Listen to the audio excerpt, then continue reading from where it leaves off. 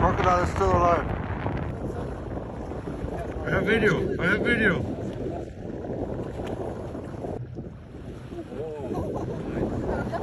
He doesn't have tusk.